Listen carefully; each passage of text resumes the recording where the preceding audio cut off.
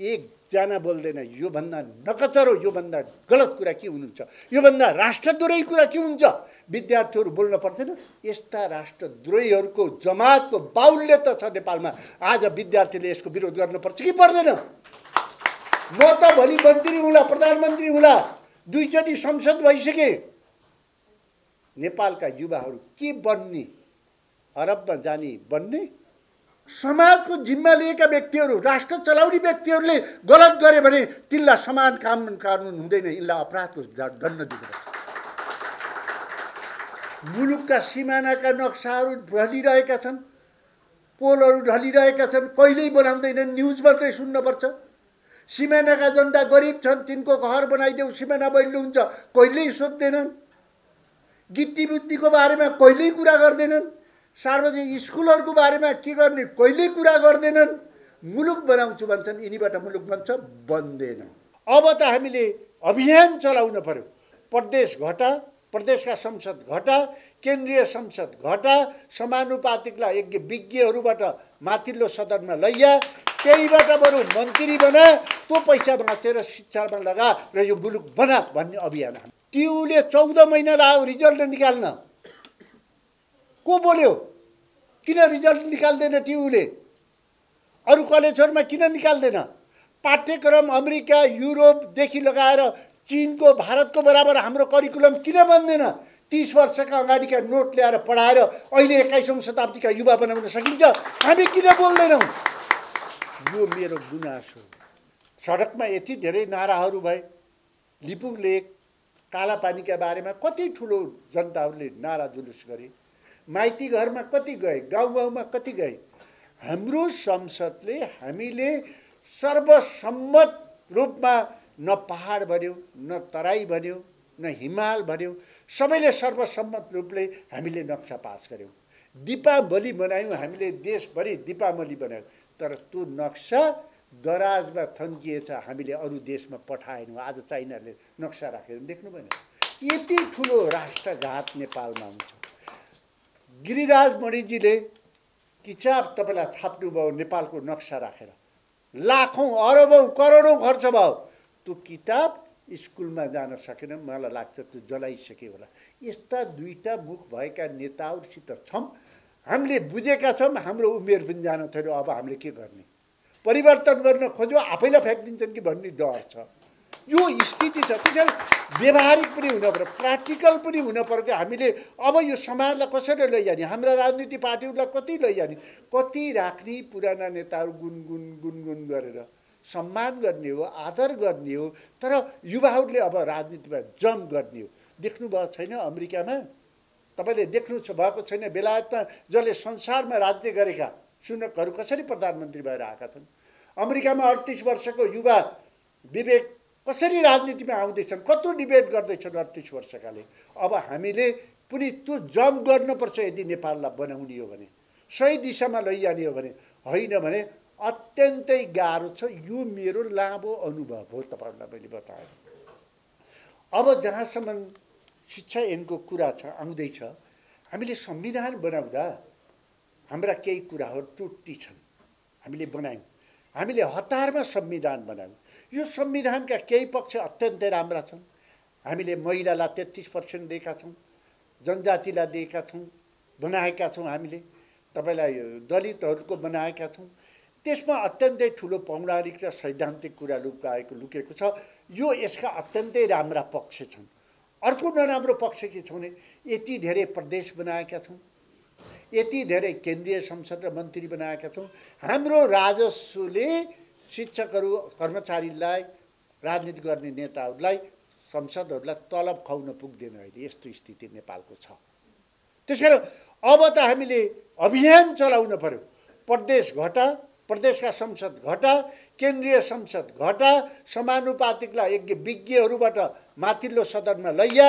त्यहीबाट बरु मन्त्री बना त्यो पैसा बाँचेर शिक्षामा लगा र यो मुलुक बना भन्ने अभियान हामीले चाल्न पर्ने हो। यो अहिलेको आवश्यकता हो। यो पो हो र अहिले त तपाईँलाई त्रिभुवन विश्वविद्यालयको भिसी भन्दै हुनुहुन्छ। मेरो भिसी कार्यालय बन्द भएको छ महिना भइसक्यो भनेर भन्नुहुन्छ। यो राष्ट्रका कसैलाई पनि भिसी भनेको कम कुरा हो। भिसी भनेको त धेरै ठुलो कुरा पो हो र। अहिले पो हामीले भिसीको जो पद हो नि त्यो गरिमालाई आफ्ना मान्छेहरू लयौँ। लयौँ नि।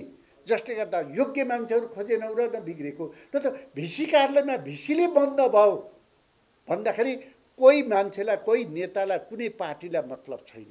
त्यो देश बाँचिरहन सक्छ। त्यो देश रहिरहन सक्छ। जो सभ्यताको इतिहासको त्यो देशको आइडेन्टिटीको पहिलो कुरा विश्वविद्यालय जसले हामीलाई पहिचान दिन्छ। फल्लो विश्वविद्यालय अक्सफोर्ड केम्ब्रिज जस्तो हाम्रो विश्वविद्यालय हुन सक्दैन। किन सक्दैन? यति राम्रो वातावरण छ यति राम्रा मानिसहरू छन् यति राम्रो प्राध्यापकहरू छन्। यसलाई कसरी गराउने हो भन्ने छैन नि। त्यस कारणले हामीको सोच हाम्रो बुझाइ अत्यन्तै गलत छ। र यो बेलामा तपाईँहरूलाई मैले निवेदन गर्न चाहेँ प्राइभेट यो अवस्थामा एक जमानामा सरकारी स्कुलमा बच्चाहरू पढ्नै जाँदैनथे गिट्टी कुटेर गोर्खामा मैले देखेको छु गिट्टी कुटेर सरकारी स्कुलमा प्राइभेट स्कुलमा मान्छेहरू पढाउने व्यवस्था थियो। किनभने इङ्ग्लिसको कारणले गर्दा। अहिले केही राम्रो हुँदै आइरहेको छ सरकारी स्कुल। अब सरकारी स्कुल राम्रो हुन थाल्यो भनेपछि अभिभावकलाई शिक्षकलाई निरुत्साहित गर्नको निम्ति यो एम आएको छ। यहाँ षड्यन्त्र छ। यो षड्यन्त्र छ।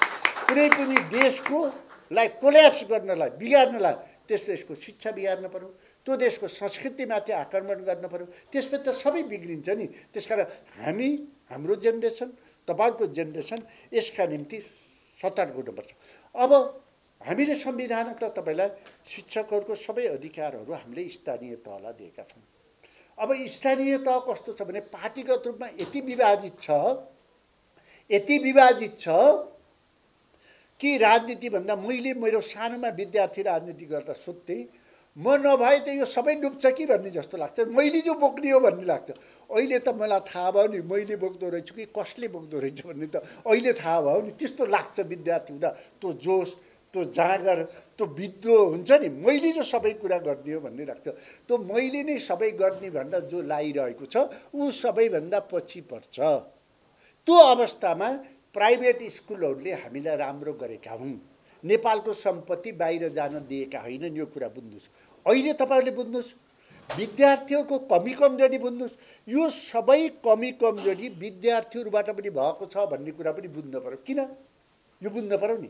किनभने पाठ्यक्रम हेर्नुहोस् परीक्षा प्रणाली विद्यार्थीले हेर्ने कि नहेर्ने? आफ्नो हेर्ने राजनीति नारा लगाउँदा विद्यार्थीहरूले जुलुस लगाउने।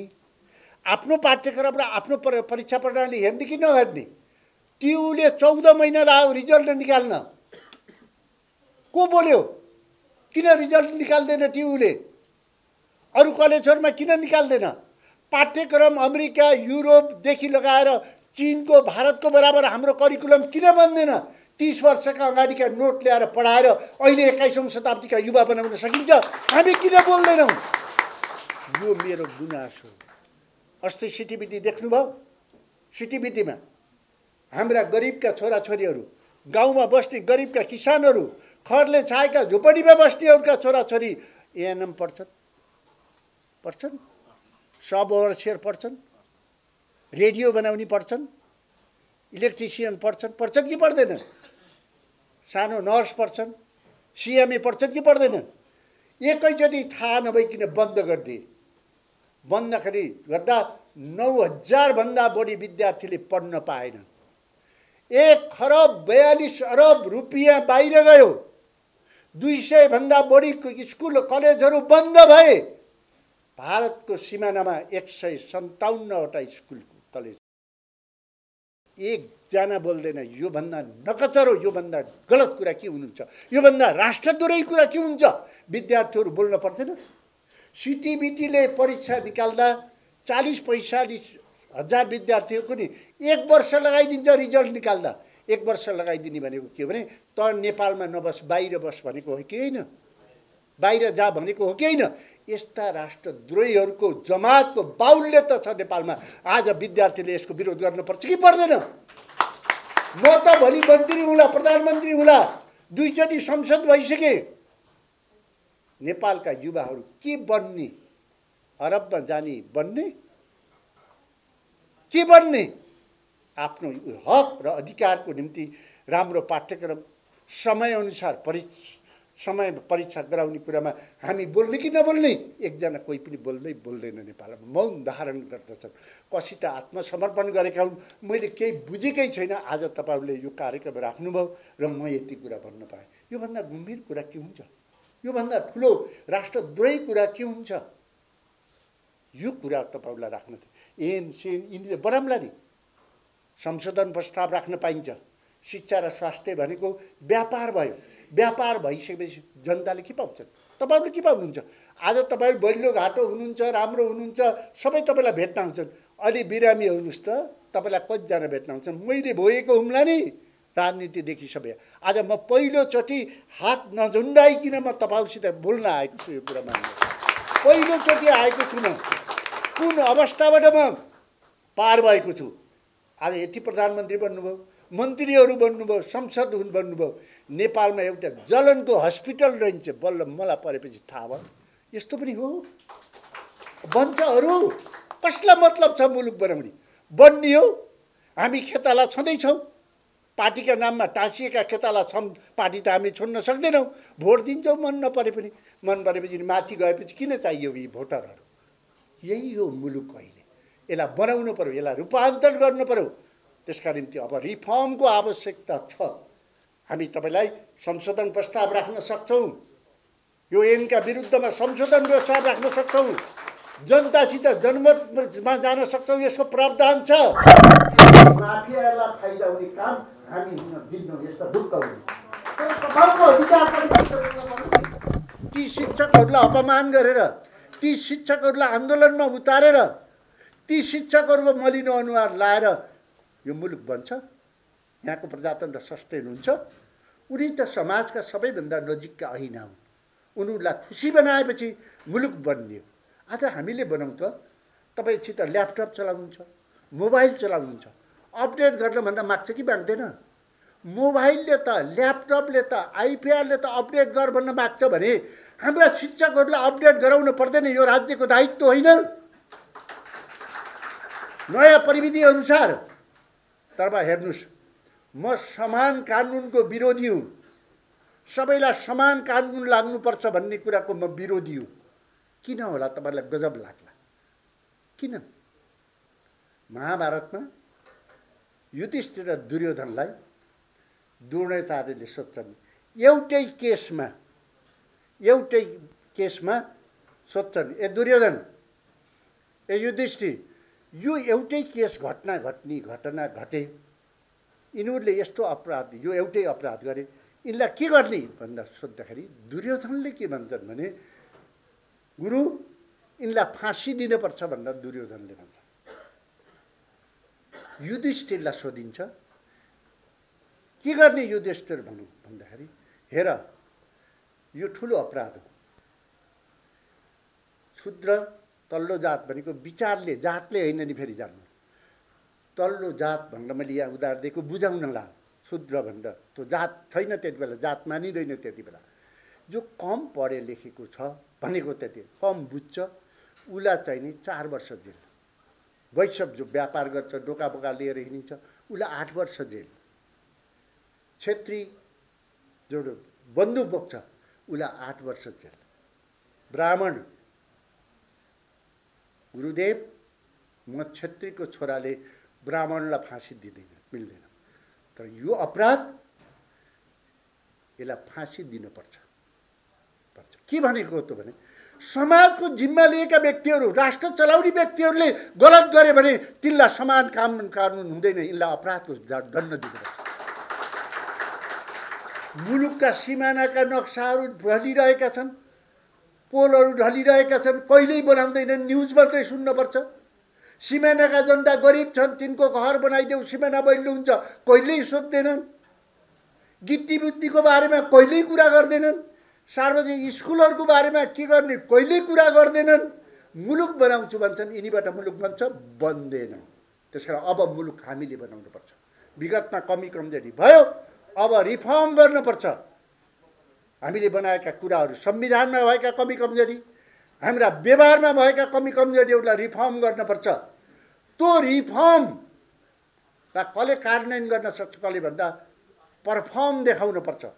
पर्फर्म देखाउनको निम्ति अब युवा तरुण साथीहरूको आवश्यकता छ जसले बाह्रै घन्टा काम गर्छ जसले यो मुलुक र जनता पहिलो हुन् भन्ने भन्छ उसलाई अब जिम्मेवारी दिनुपर्छ। तब पो समाज रूपान्तरण हुन्छ र विदेश जानेबाट रोकिन्छ। तब पो बन्छ शिक्षा बन्छ स्वास्थ्य बन्छ मुलुक बन्छ तब बन्छ। होइन भने त्यस कारण अब रिफर्म पर्फर्म ट्रान्सफर्म। मैले जे कुरा भनेको थिएँ म घाइते भएर आइसकेपछि मैले भनेको थिएँ अस्ति पनि मोदीले इन्डियाको पार्लियामेन्टमा यही रिफर्म पर्फर्म ट्रान्सफर्म भन्नुभएको थियो। भारत बनाउनु त रिफर्मको आवश्यकता रहेछ। पर्फर्म देखाउनु पर्दो रहेछ। पर्फर्म देखाउनलाई कठिन काम गर्ने मान्छेहरू चाहिँदो रहेछ। तब पो समाज रूपान्तर हुन्छ र मेरो देश नेपाल भन्ने हुन्छ। आज त तपाईँ नेपाल आज युवा छँदै छैन। त्यति बेला बिपीले भनेको हामीले युवालाई केही गरेनौँ भने भोलि युवाले पनि मुलुकलाई केही गर्दैनौँ। आज त्यही कन्डिसनमा आएको छ।